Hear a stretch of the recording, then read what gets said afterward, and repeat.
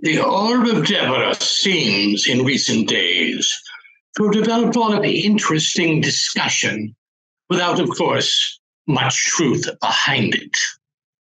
I am Homer the Younger, a historian of the ancient artifacts, and I will, for the proper payment, disclose the truth. And having been properly paid, here it is.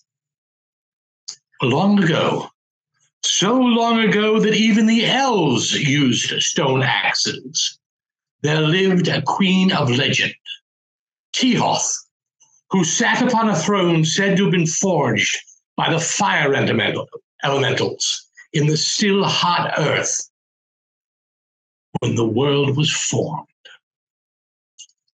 Tihoth was a powerful wielder of raw magic. In fact, it is said that her story takes up several volumes, and the different schools of magic are, in fact, simply summaries of the spells she used in each volume.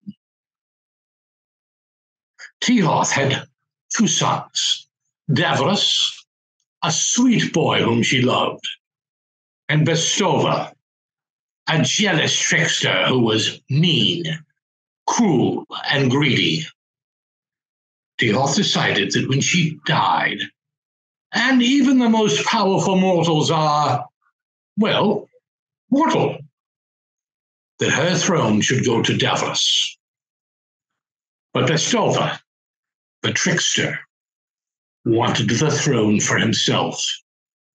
And so Bestova tricked Davros by putting a hot coal in his soup so the Davros burned his tongue and could not speak. Tihoth used her most powerful healing spells.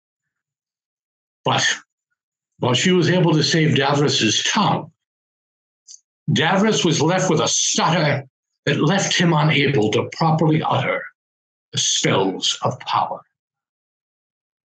Tihoth was devastated, but she was not willing to give up on Davros.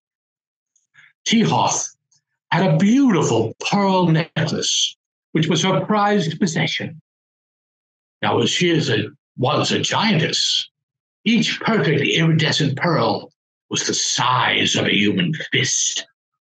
But out of her love, she took the pearls from her necklace and gave them to Davros to put in his mouth when he was speaking, and instructed him to practice, oh, even above the roar of the beasts from the royal zoo, until he could speak clearly and without a stutter.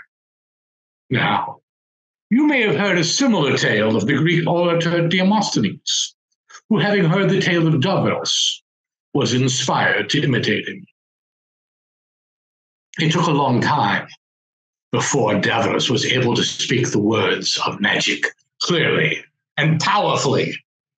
As he spoke the words, the magic creeped into his very saliva and was absorbed into the pearls until they too became imbued with the great magical power of auditory. Well, of course, Bestova mounted rebellion.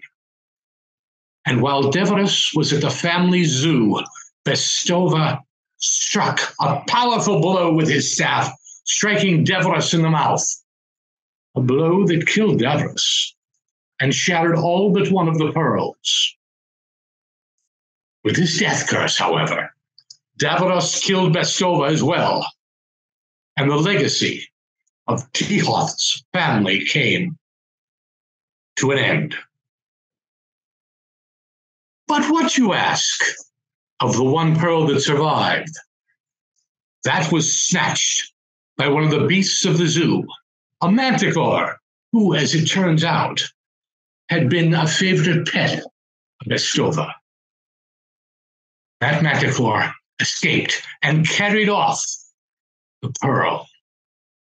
The pearl has come to be known as the Orb of Davros, and is still in the possession of the descendants of the Manticore who spirited it off. the shards of the other pearls, feeling an affinity for the orb, have often been collected and made into compasses which point to the orb with which they wish so vehemently to be reunited. That is the true story of the orb. And I ask you to remember that with knowledge comes power, and with power comes responsibility. Use this knowledge well.